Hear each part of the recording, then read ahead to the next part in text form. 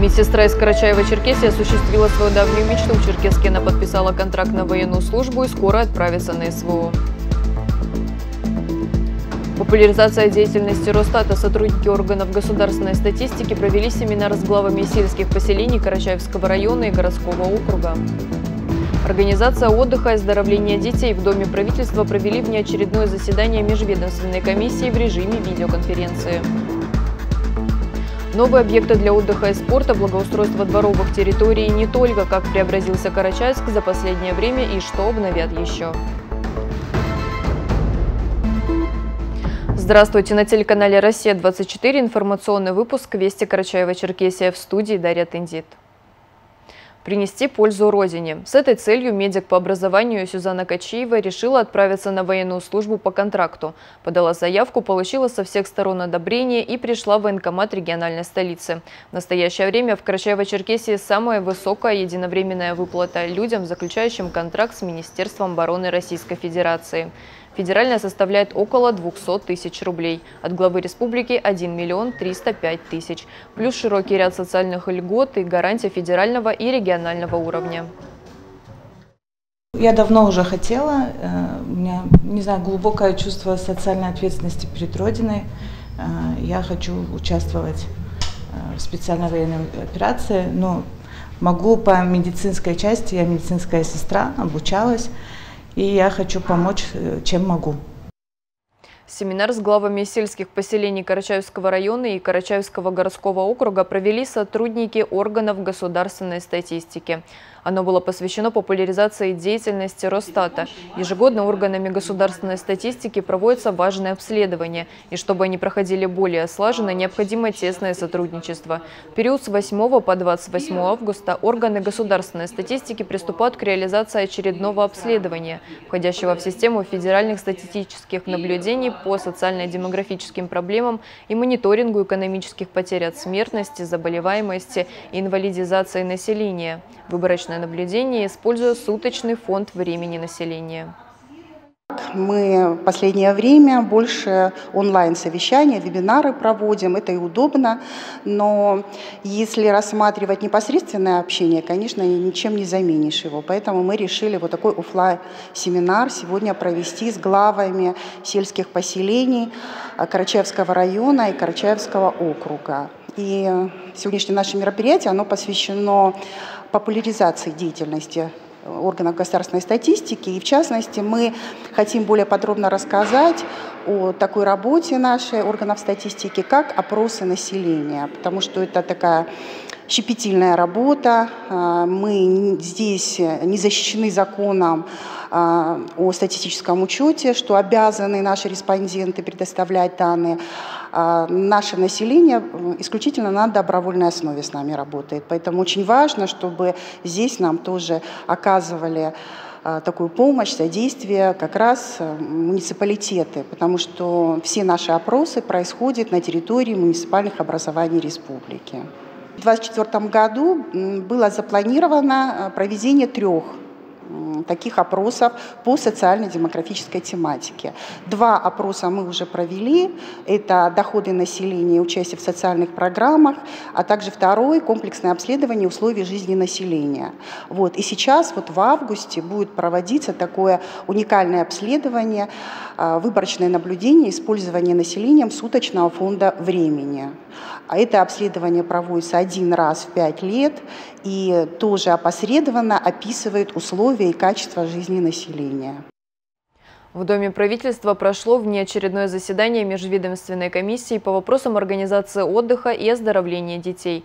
В обсуждениях организации хода и летней кампании в режиме видеоконференц-связи приняли участие также представители муниципальных органов и руководители загородных организаций отдыха и оздоровления. Ахмат Халкешев продолжит.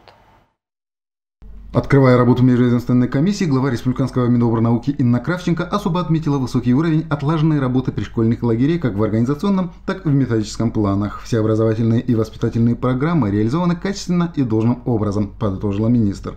В пришкольных лагерях отдохнули свыше 6 тысяч детей. Я благодарю каждого из вас, что вы своевременно реагируете на а, те меры профилактические, которые необходимо проводить в летнюю оздоровительную кампанию и помогаете сделать нам этот отдых ярче, лучше и безопаснее. Ну а самая горячая пора сейчас наступает у загородных лагерей. На сегодняшний день свой летний досуг в них провели более одной тысячи детей. Вопросов на повестке комиссии было немало, но особое внимание участники заседания акцентировали на обеспечении безопасности в местах массового пребывания детей и подготовку всех категорий специалистов, которые будут задействованы в летней кампании. Как поведал ректор Республиканского института повышения квалификации работников образования Александр Гурин, на сегодняшний день они подготовили свыше одной тысячи специалистов всех категорий.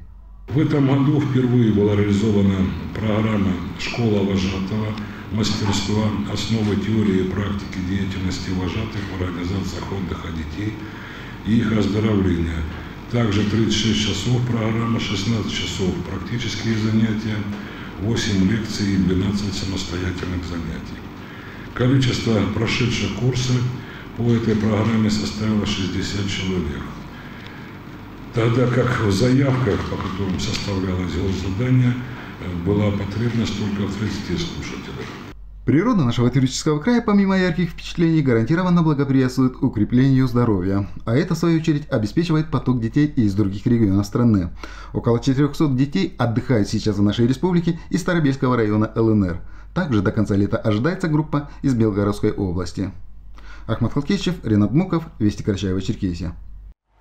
Город Карачаевск в эти дни переживает преобразование. В нем строятся объекты для отдыха и спорта, ремонтируются тротуары и, самое главное, в этом году взялись за перекрытие крыш многоэтажных домов и благоустройство дворовых территорий. Каких объектов коснутся новшества, выясняла Мадина Каракетова.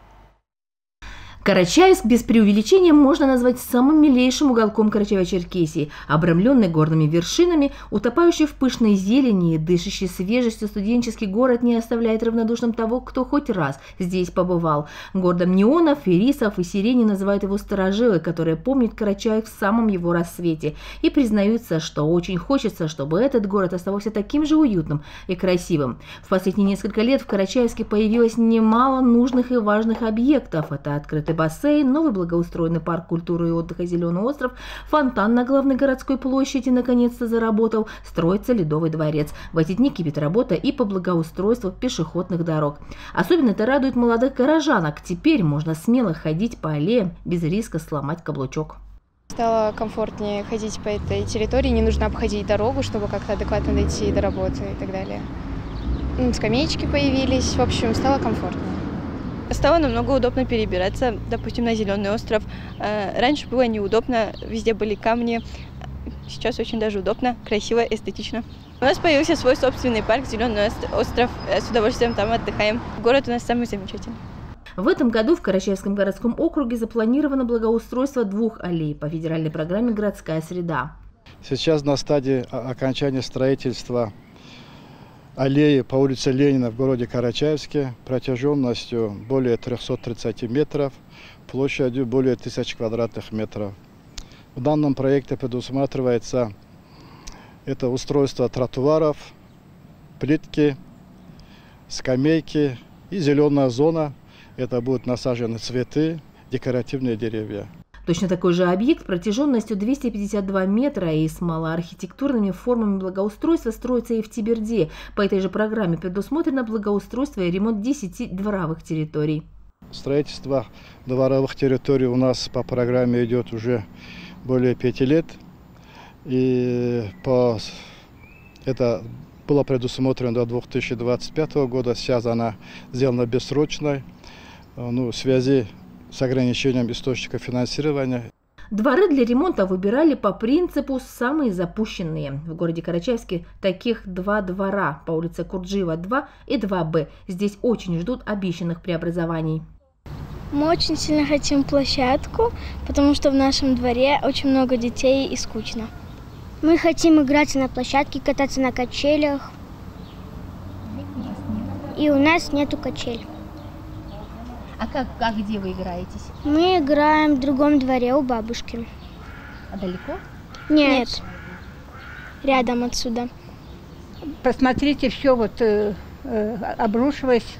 Э, сколько вот здесь, двое женщин, этот, ну, ноги поломали здесь. Э, очень грязно. Э, там мусор с общежития, с, той, с того дома и с магазина, со всех, и даже машина приезжает, этот мусор все туда кидает. Невозможно, запах страшный. Нету ничего абсолютно для детей. То они туда наверх бегают, то туда бегают, то сюда бегают, негде им играть. А лет 15 назад, когда в этот дом переезжала Мариам Байчурова, этот двор был одним из самых красивых и благоустроенных в округе. Были и клумбы, и детская площадка, и аллеи с бордюрами. Но со временем все приходит в негодность, а тем более, если времени помогают и местные вандалы. В этом году нам обещали все это сделать. Мы вот ждем, как порядочные люди, не спешим. Аллах отца нам все сделает. Дом, конечно, старый, ему где-то лет 50 есть. А так, не то что двор, у нас в подъездах тоже все рушится. Сами ремонт делаем, собираем Сами деньги. по себе делаем своими силами. А так, а платим не знаем. Э, деньги? Конечно, платим. За все платим. Потом говорят, должники пусть ваши дают, за эту сумму мы вам сделаем ремонт. А должникам мы какое отношение имеем, жильцам? Вопросов к управляющей компании накопилось много, рассказывают жители многоквартирного дома по Курджиева 2Б к соседям, неплательщикам и собачникам, выгуливающим своих питомцев, где попало и как попало также. Но это уже другая история. А пока пару недель назад приезжали, сняли самодельное ограждение с импровизированных клумб, обещали, что в скором времени их дворы преобразятся до неузнаваемости. Житель домов по Курджиева 2 и 2Б очень надеются, что это будет действительно скоро. Позитивные изменения, но уже связанные с переустройством и капитальным ремонтом кровли, чувствуют жители четырех старых пятиэтажек, как говорят горожане, на улицах Орджоникидзе 1А, Курджиева 18 и Мира 9 и на Зеленой 33 в Мараягэ. Данные крыши находятся уже в неудовлетворительном состоянии. Э, были массовые жалобы и в сторону управляющей компании, и в сторону администрации. И администрация, когда создавала краткосрочный план, она отправила в Минстрой с просьбой заменить именно вот эти дома, которые крыши по данным домам. Ну, там действительно э, состояние на пятых этажах, на верхних этажах квартир там такое плачевное. По Орджоникидзе 1А плоскую кровлю заменят на скатную. На данный момент завершаются работы по установке стропильной системы. Строители устанавливают обрешетку. У Курджиева уже, так, например, на такой же стадии, там капитальный ремонт крыши, там уже была шатровая крыша, Э, с шифером. Э, на данный момент уже тоже стропильная система установлена, э, пленкой все накрыли. По зеленой 33 сейчас идут работы по, ну, по заливке бетонных столбиков и так далее, укрепление стоек. На данный момент там тоже перев... там тоже капитальный ремонт крыши, мы тоже начали, но там чуть-чуть на таком на раннем этапе. Ну, крыша довольно простая, поэтому, думаю, через месяц они уже должны завершать работы. Так что дождливую осень жильцы этих четырех домов встретят уже без тазиков под потолком. Благоустройство Карачаевского городского округа продолжится, идей много, и мы обязательно порадуемся преобразованием вместе с жителями красивого и уютного Карачаевска. Мадина Каракетова, Мухаммед Ашибоков, Миха Каракелян, Вести Карачаева-Черкесия, Карачаевск. Наш выпуск завершен. Я с вами прощаюсь. Далее смотрите интервью старшего помощника прокурора Карачаева-Черкесии Елены Дармограевой. С ней встретилась Белла Джазаева.